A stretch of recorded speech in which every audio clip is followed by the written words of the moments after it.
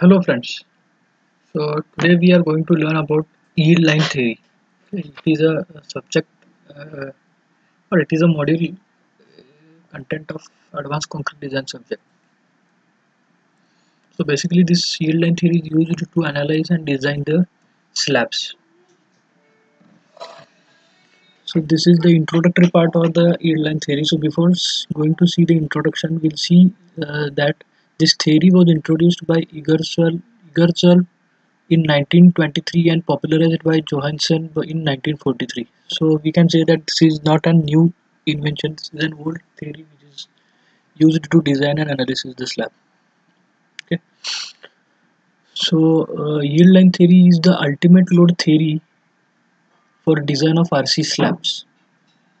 A yield line may be defined as a line in the plane of the slab along which all reinforcing bars have yielded. As the bars yield, cracks develop in the slab along the yield line. Okay, what actually it means is, so you can see the figure below. So here figure is there. So figure shows one-way slab subjected to uniformly distributed load. Okay, so uh, slab is having a span of L and a load of WU so you can see the behavior. So as the load so here this is the span. So load is applied on the slab. When the load applied on the slab so maximum bending moment for this condition. So this for simply supported boundary condition having an UDL the maximum bending moment is at the center. Okay? So due to the as the load increases bar starts yielding. So as the load is increased on this slab so it tends to bend like this okay so the maximum bending moment will be at the center. So here you can see the center line is developed. So here yielding and due to that bending the bar starts yielding at the midspan and yield line develops after which there will be no resistance to additional load by the slab. Okay so there is no required any additional load to again uh, uh, resistance to additional load by the slab so there is no any no any additional load is required to bend the slab okay? So due to the sulfate or due to the bending pattern it will bends and excessive deflection takes place due to rotation of slab. So what happens here in case so due to this crack due to this crack so the segment of the slab single one segment will be divided into two segment and it will it will tends to rotate against this axis okay? And that crack is nothing but we can say this is the yield line. This is the yield line for one way slab. This is the yield line for one way slab at the center it is developed. Okay. So this is about the uh, yield line theory. So this is only basically this theory is used to uh, so in next slide we'll discuss next slide we'll discuss that. So most of the concrete slabs are designed for movement found by the methods based essentially upon elastic theory but yield line method is a plastic method of analysis of slab. So here you can understand that. So the conventional slab design we are doing it by elastic theory. Okay that is elastic theory. Here we are going to design the slab by plastic method. It is plastic method. So what is mean by elastic and plastic? So elastic means what? The material after application of force comes to its original shape and size. Is nothing but elastic material. We can say elasticity plastic means what? After the deformation the deformation will be permanent due to the force due to the force. It will not come to its original shape and size. That's why it is called as a plastic. So here this theory is based on plastic method. So here in figure number two it shows typical yield lines before the collapse of two way slab. So this is a rectangular two way slab. So all the supports or all the boundaries are supported by simply supported. And this, this this is the bending so after application of load it bends. So the slab bends. And after bending of the slab if the load is excess. In in the collapse condition in collapse condition the uh, cracks will be developed on the slab okay on the surface on the surface like this in this manner for two-way slab so in the previous slide we have seen how the cracks will develop on one-way slab so this will be the pattern of cracks on the two-way slabs and these cracks are nothing but we can say these are the yield lines. These are the yield lines. So this is this slab is divided into four segments. Number one is trapezoidal number two is triangular number three is trapezoidal again and number four is again it is triangular. So it is divided into four segments due to this yield lines. Okay? So this shows yield line in two-way simply supported slabs here you can see before the collapse of two-way slabs. So generally all of you know that uh, loads are so in designing RCC designing we know that there, there are certain loads. So for example we can say service load uh, uh, second uh, factored load third uh, collapse load. So what actually means what actually it means? So service load means what? Working load. So actual load is known as service load. So what actually the load is going to come on the structure is known as service load or it can also be called as a working load. What is mean by factored load? So factored load is nothing but we are taking some additional factor of safety for the safer fact for the safety. So that is not a factor of factored load. That is called as a factored load. Third one is collapse load. So collapse load is nothing but at which load the structure gets failed is known as collapse load. So at due at the collapse load this cracks will be developed. At the collapse load this cracks will be developed. Okay. So in next slide we'll continue. Figure 3 shows a typical load versus deflection curve of for slab. Okay. So we'll try to understand what actually the curve is. So this curve is drawn load versus so x y-axis is the load and x-axis is the deflection. So this curve you can see here. Okay. So here at the center you can see for the factor w is the factor load. For the load the yielding starts here. The yielding is there. So yielding starts here and it goes on continues. And at the top you can see this collapse load. So at this top it may get failed or it may continues at the collapse load. So crack starts developed here developing here. So here up till this so actually from here only the crack will starts to be occur on the surface of the slab. And at a certain limit it may get failed okay? So this is about this load versus deflection curve. Load versus deflection curve. One one statement i have written here is the yield line theory gives a method of estimating collapse load for a rc slab. Okay? So generally this method is used to estimate the collapse load. So what actually the collapse load is so while designing we are considering the service load and factor load but we don't know what will be the collapse load. So this method can be used to identify the collapse load. And it may be carefully noted that since yield lines have to form this theory is applicable to only for under reinforced slabs. Okay this is a very important statement here. So this theory is only applicable for under reinforced structures under reinforced members. Okay so this is not applicable for over reinforced. So all of you might be all of you know that what is meant by under reinforced and what is meant by over reinforced. So so in under reinforced the structure gives you the warning before failure but it is not there in the over reinforced. So what actually mean by over reinforced? We are doing we are adding some extra steel okay? Reinforcement extra reinforcement in the member in the structural component. So we are increasing the load carrying capacity what happens when the failure is there of the member for the over reinforced member they, it will directly crack okay? It will not give you the warning. But what happens in under reinforced section or structures it will give you the warning before failure. The cracks will be developed here. So that's why it is depends on the cracks. So that's why this theory is only applicable for under reinforced slabs or under reinforced members okay. so this is the load versus deflection curve we have discussed the next slide we continue. Okay so now these are the assumptions. So assumptions made in yield line analysis of slab. So the slab is under reinforced so that there is the tension failure. So already we have discussed in the previous uh, slide that we have to so this theory is only applicable for under reinforced sections or slabs. Next is uh, that yield lines are straight lines. Here in this image you can see these are the yield lines for simply supported square slabs. So this image is simply supported square slabs. It is simply supported from all the four sides and it is the cracks are developed here. So these are the yield lines and these yield lines are always straight straight lines straight lines. So it starts at this edge and it ends at this corner edge. Okay. So this is about the yield uh, second assumption. Third is elastic deformation is negligible compared to plastic deformation.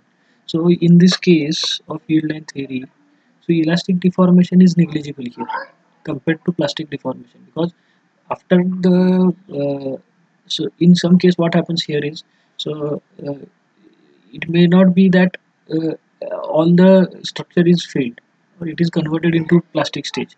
So some part of the slab is in elastic mode and some part of the slab is in plastic mode. So in that case we need to consider that all the member or all the slab uh, is in plastic deformation is in plastic deformation. So this is about third assumption. Fourth is after collapse mechanism is formed each of the segment of the slab may treated as a rigid body and the entire rotation is assumed to take place along the yield lines. Okay. So here this is a single segment slab. So after application of load and excess load collapse load at the collapse load this slab will be converted into four segments. So number one number two number three and number four. So it is divided into four segments and it is rotated along the yield lines and that is called as an axis. That is called as an axis of rotation axis of rotation entire axis of rotation. So this one and two segment will rotate against this axis. Okay? So two and three segment will rotate against this axis. That is this is this yield line. That is called as an axis of rotation 3 and 4 will rotate against this axis okay? And 4 and 1 will rotate against this axis. So that's why this yield line is called as an axis of rotation. Okay, so this is about the assumptions of this slab while designing we have to consider the assumptions.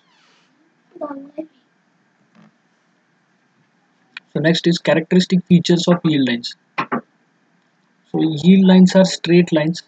Already we have discussed in the previous slide second yield lines either terminate at the boundary of the slab or at the intersection of the other yield lines. So here you can see that the yield line starts here. It will end at the boundary or the uh, what actually is written here? Yield lines either terminate at the boundary. So it is terminating at the boundary uh, boundary of the slab or at the intersection of the other yield line. So this one this is one yield line. It may be terminate here or it may terminate at the boundary of the slab. Okay? So it will not it is not like it is dismissed in between. So it should be uh, terminated at the end at the end.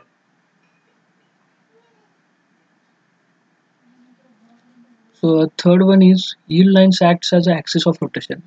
So again this will these all four segments will rotate against the axis that is against the yield lines so fourth one is axis of rotation are along the lines of support and pass along the column. So here you can see. So actually this is this is the thing what we have not discussed yet is so these are the yield lines. What are the yield lines here? So one and two yield lines we can see but these are the positive yield lines and this dotted lines is also a yield line. So it is developed due to the fixity. So in the previous case what we have seen in the image is so the square slab is simply supported slab on all four sides. But here what happens is this, this slab is square but it is fixed at all four sides. Due to the fixity the negative movement is developed at the support and due to that negative movement a negative yield line is developed at the periphery of the square slab periphery of the square slab. Okay? So this line will pass on the column. This line will pass on the column. So axis of rotation are along the lines of support and pass on the column. So this is the axis of rotation. So uh, this slab will rotate. So segment number one will rotate against this axis axis this axis as well as this axis. So it will rotate against three axes so this is about fourth one. So fifth one is each segment will have will be having axis of rotation natural or yield lines all along its periphery. So this negative yield line. So this will be there for the rotation of the all segments of the all segments. So four segments are there. So these four segments will rotate against this negative yield line also. So this is about the characteristic features of the yield line. So these are the things assumptions and characteristic features we need to remember while designing or analysis this lab. So next we'll see. Okay. So uh, this is the uh, sign conventions for yield line. So here generally accepted sign conventions used in yield lines analysis is shown below here. So continuous straight continuous line is free or unsupported edge. So hatch is simply supported edge. Cross marks are used for fixed edge or continuous edge. A rectangular bar or rectangular tube like shape is for used as for beam support. Solid square for column support. Undulation line for positive yield lines that is tension in bottom side of the slab. So this is used for positive sign and this yield line is used for negative yield negative sign negative negative yield line and this is positive yield line. And this mark is used for axis of rotation and the circular solid is used for point load if it is. So these are the sign conventions. So remember these are the very important sign conventions. You have to remember because in problem they will give you the uh, statement for the boundary conditions. If you don't know the sign conventions so you, it may get incorrect. So you should be very careful about the sign conventions. You should know all the sign conventions to understand the problem. If you if you don't know the sign convention it is difficult to understand the problem statement. Okay. So next is okay. So this is yield line patterns for different shape of slabs so number one is rectangular one-way slab. So here you can see the yield line developed at the center. Second is square simply supported slab. So two yield lines are developed here. At the joining the two opposite corners. So this third one is uh, the square yield square square shape slab is there. But the support is fixed as fixed support is there and the two corners are joining as well as the negative yield line is there. So in this case positive movement and negative movement will develop here. That's why two yield lines we can see. So one two three four five six.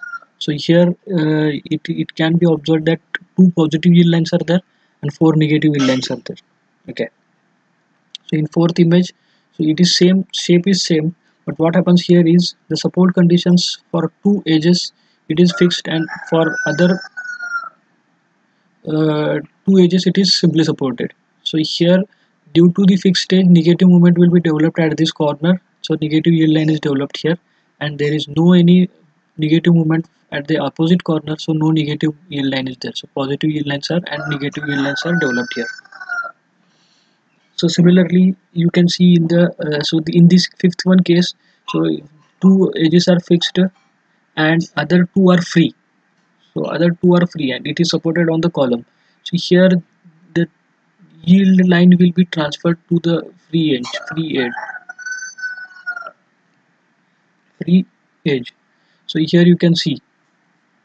Okay so this is the pattern of yield line developed due to free end and fixed end condition.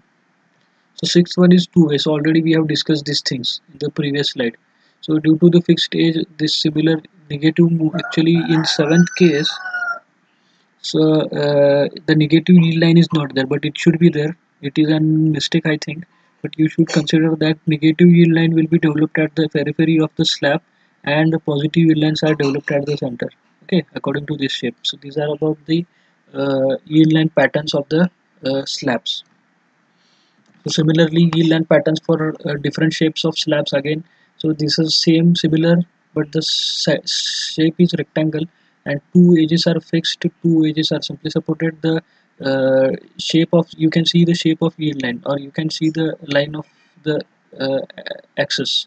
So it is developed like this. So negative movement will be developed at the fixed end. So negative yield line is developed and due to the bend axis of due to the application of load the crack will be developed in this pattern on this shape. So here you can see again the triangular shape so all edges are simply supported for the triangular case. So negative positive yield line will be developed like this for triangular case. So this is also a triangle but two edges are simply supported one edge is free. So it will be divided into two segments like this. So yield line will be developed like this. So it will rotate against this axis. So here you can see the circular shape slab. So in the circular shape yield lines will be developed like this. So it is the number is infinity so we don't know how how many the numbers will be there. But it is depends upon the load again. Okay? So it is simply supported circular slab and the yield lines are developed like this. Uh, it may be more numbers more number of lines may be there. Okay? So this is about the uh, yield line patterns for different shape of slabs. Okay? So in next video we'll see the problem statement. So we'll see the problem and we'll solve the problem for uh, analysis and we'll do the analysis and design of the yield line. Okay. thank you.